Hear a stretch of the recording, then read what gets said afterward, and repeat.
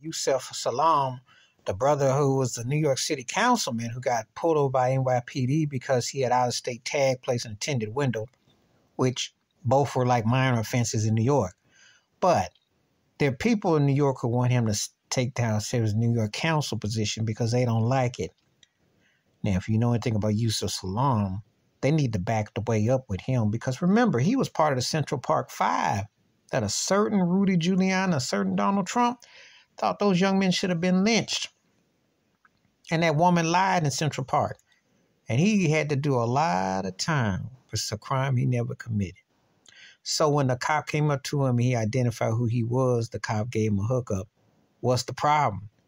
And why are these people acting all coming on Yusef Salaam when Donald Trump got only like 90 to 180 charges against him? How does this work that you call for resignation for a councilman who is a minor offense compared to what Donald Trump just got an $83 million suit that was it's been held up against him? How does this work? How does it work? Salaam does what a lot of them do, but they're making a big stink because he's black. They're coming at him because they didn't like the fact that he identified who he was and what he said, so they're gonna make a big stink about it. But Trump somehow gets to escape. Giuliani gets to escape. No, no, no, no, no. Yusef just identify. One reason why you identify yourself because before they try to take you outside and wax on you, because we know how racist those New York cops are. We know what trash they are. We know what they do. And we remember what they did to him as a young man. Just gonna say it.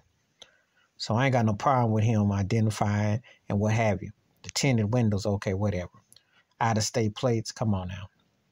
Leave that brother alone. He deserves a lifetime pass unless he was to done something really bad this shouldn't even be no news. They just trying to get him up out of there because he spoke out against something, and plus he's got a history with him. But you see, that's what the racist people and some sellouts do because they don't want the truth to come out. Leave Yusef Salaam alone. I'm out.